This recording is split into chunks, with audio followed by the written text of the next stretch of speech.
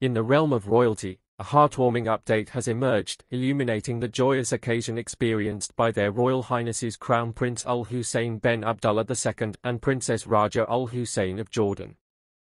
On the auspicious date of Saturday, August 3, 2024, a momentous event unfolded as they welcomed their first child, a healthy baby girl named Iman. The significance of the name, Iman, derived from Arabic, embodies the essence of faith and belief. A press release from the Royal Hashemite Court expressed the profound elation and gratitude felt by their Royal Highnesses upon embracing their newborn daughter. Before we proceed, please like this video and subscribe to our channel.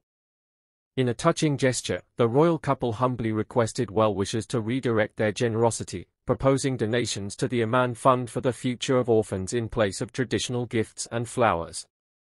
Amidst this jubilant moment, his Majesty King Abdullah II of Jordan took to social media to convey his delight at becoming a grandfather, extending heartfelt congratulations to Crown Prince Al Hussein and Princess Rajwa on the birth of their daughter, Iman.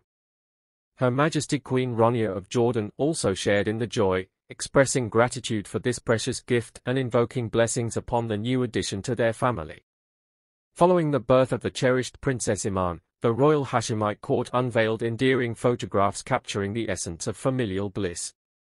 These images showcase the majesties of Jordan, including Royal Highness Princess Iman bint Abdullah II, His Royal Highness Prince Hashem bin Abdullah II, Her Royal Highness Princess Salma bint Abdullah II, and the proud new father, Crown Prince Al Hussein bin Abdullah II, as they reveled in the presence of their newborn bundle of joy.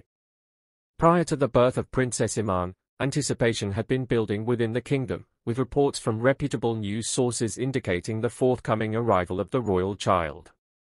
Speculation was rife, with confirmations from the royal Hashemite court hinting at the expectation of the crown prince and princess welcoming their first child during the summer months. As the question arises regarding Princess Iman's potential succession to the throne, constitutional provisions delineate the hereditary nature of the throne within the Hashemite Kingdom of Jordan. Article 28, Section 2 of the Constitution establishes the line of succession through direct male heirs, with specific criteria dictating the passage of the royal title from one generation to the next, emphasizing the lineage of King Abdullah bin al-Hussein. The union of Crown Prince al-Hussein bin Abdullah II and Princess Rajwa al-Hussein on June 1, 2023, marked a momentous occasion at Zahran Palace in Amman, culminating in a grand celebration at Aluja Palace. This cherished union has now been blessed with the arrival of Princess Iman, heralding a new chapter in the royal lineage. Join me in extending warm congratulations to the Crown Prince and Princess Rajwa on this joyous occasion.